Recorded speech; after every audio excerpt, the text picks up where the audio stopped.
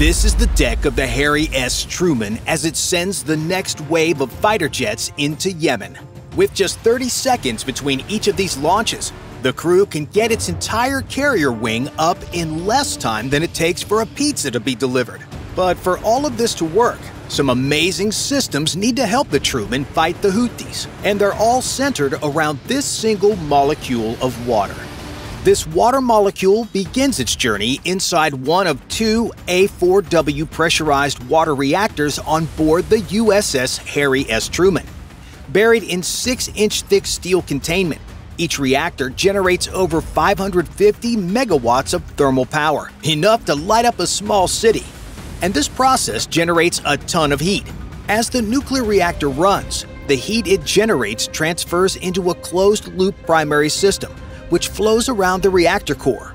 Inside here, the water reaches temperatures of nearly 600 degrees Fahrenheit without ever boiling. That's because it's kept under intense pressure over 2,200 psi to keep it liquid as it races through the pipes. But how does the catapult get steam if it doesn't boil over? That's where this machine comes in. What you see here is called a steam generator. After superheating around the reactor core, this water goes through a shell and tube type heat exchanger like this one. Here, the superheated high pressure water flows through tubes inside this enclosed shell that is full of purified water. As the water travels through, it heats the lower pressure water to turn it into steam. It's still hot and pressurized to around 600 psi, but the water is now not radioactive and usable. Up on the deck, crew members attach a launch bar on the nose gear to a shuttle hooked to a piston below. That piston is waiting at the end of a sealed steam cylinder that runs nearly the length of a football field.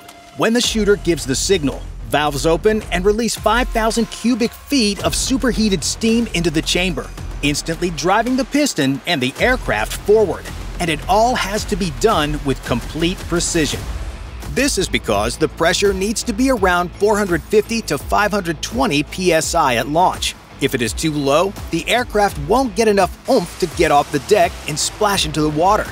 If it's too much, it can actually crack and damage the airframe. That's why sailors must maintain these pressures with strict plus or minus 10 psi tolerances for aircraft and pilot safety. Thankfully, the engineers on board the Truman have done this literally a thousand times before, and the pressure spike launches the F 18 from 0 to 150 knots in just under 300 feet. This breathtaking launch subjects the pilot to a bone crushing 3 Gs of force in less than 3 seconds. By the time the jet leaves the deck, it's moving faster than a bullet from a handgun, and the steam system is already resetting for the next aircraft. All told, this system allows the Truman to launch a fully armed strike package every 30 seconds per catapult, meaning that four aircraft can take off every two minutes. With proper coordination and prep, the crew can surge up to 120 combat sorties per day. Each jet can be turned around refueled, rearmed, and relaunched in under 90 minutes, with these times halved for at general quarters. That means by the time the first wave is returning to the carrier, the next wave is already airborne. And with this rhythm, the Truman doesn't just launch planes, it unleashes a relentless tempo of steel and fire on America's enemies. And today, it's going to be put to the test.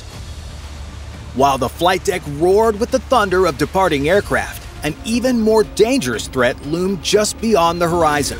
On March 16th, on the second day of Trump's campaign of never ending strikes against the Houthis, the USS Harry S. Truman found itself at the center of an unprecedented attack.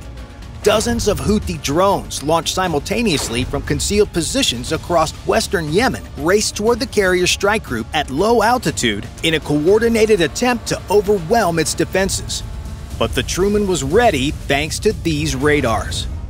At the heart of the carrier's situational awareness are its powerful air search radars, systems that not only detect airborne threats like drones, but also help prevent friendly fire by meticulously deconflicting airspace for the dozens of friendly aircraft in the skies at any given moment. The first in line of detection is the SP 848E, or Spitz 48 three dimensional radar. Mounted high on the island superstructure, this electronically scanned array can track targets out to 220 nautical miles. It can simultaneously track over 500 air contacts while providing data on each target's altitude, range, and bearing every 4 seconds. How this radar is able to provide altitude data is through something called elevation angles, which is a key component of its capability. An elevation angle works like this. At 24 different intervals from about 0.2 to 28.2 degrees, the radar sends an energy beam at each angle. Depending on when and where the radar energy hits the aircraft will help the radar determine the contact's elevation, which is crucial for air defense. And while this would be crazy enough on its own, the scale at which the radar does it is mind-boggling.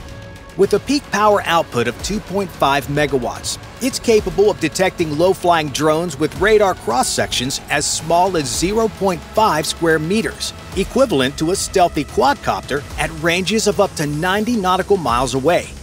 With its 24 different elevation angles and 360 degree sweep, it's often the first to pick up low altitude drones like these Iranian Shaheds trying to sneak in under the radar. But even if those drones somehow make it past this radar, there is another one standing between them and the carrier. This is the AN/SPQ-9B radar. It is a high-resolution X-band radar specialized for tracking surface targets. However, it also has an air mode that allows it to scan for low-altitude aerial threats, which is exactly what the crew is doing right now. With a range of 80 nautical miles, this radar refreshes its track data every 1.7 seconds and can distinguish between multiple objects just 2 meters apart. This precision allows it to track fast-moving drones even when they fly by in a tight formation or when multiple friendly aircraft are operating nearby. This is possible because of horizontal beam width, which is the width of the radar beam where its power drops to half of the maximum is just 1.1 degrees, which allows it to distinguish targets operating in close proximity to each other. With all of these features, its detection probability on slow-moving UAVs exceeds 90% even with sea clutter. This radar is crucial for threat prioritization, determining which inbound targets are hostile and which are not, and it perfectly confirms that there's a drone swarm inbound.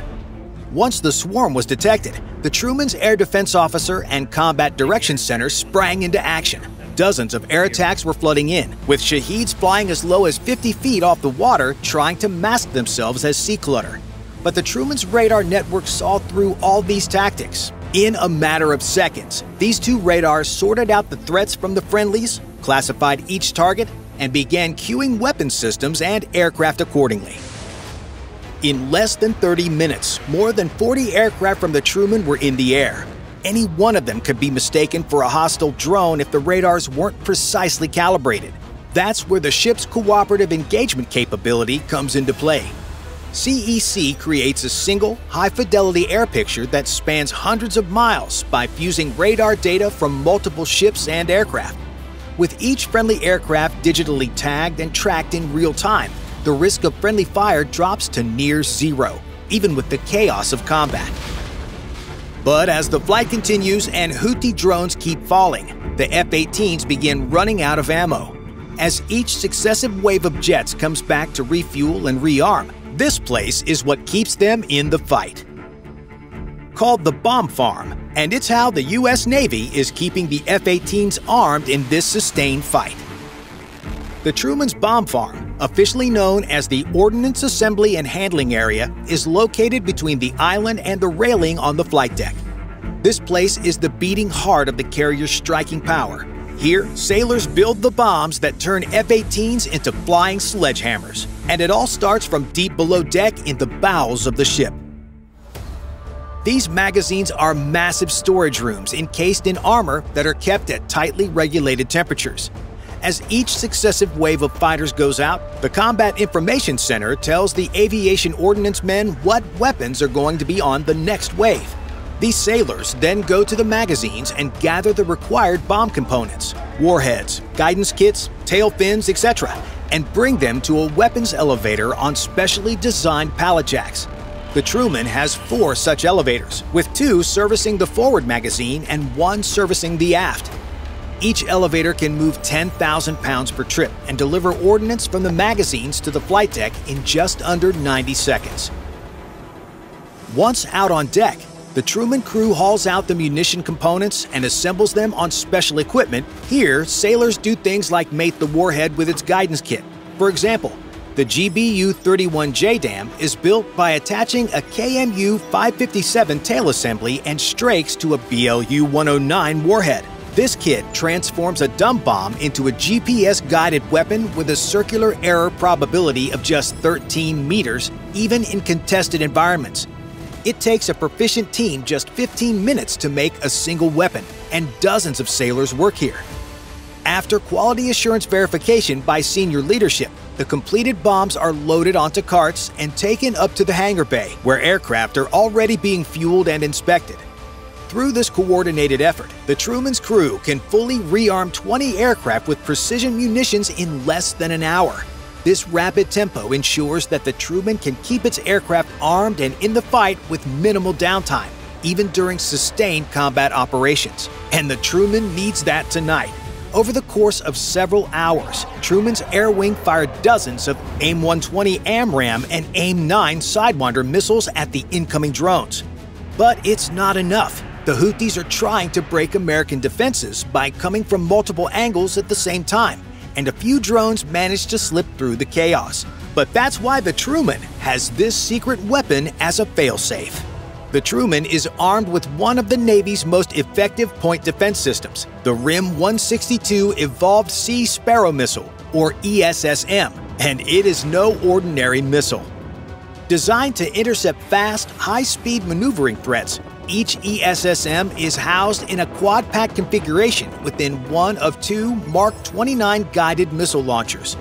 But these missiles are not just plentiful, they are extremely capable and will turn the tide of this battle.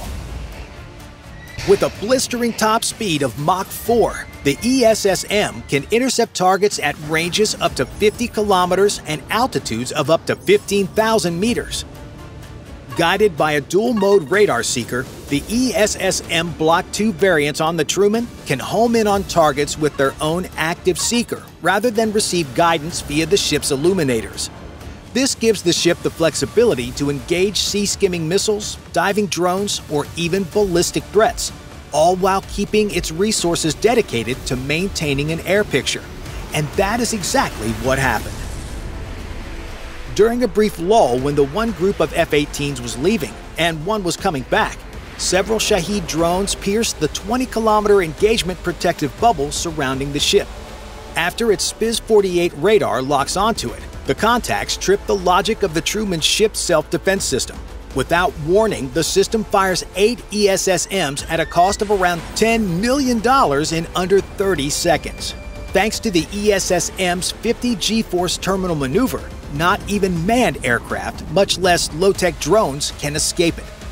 In less than 60 seconds, the ESSM shred what remains of the drone swarm as the Truman's crew gets ready for the next battle. Bye for now.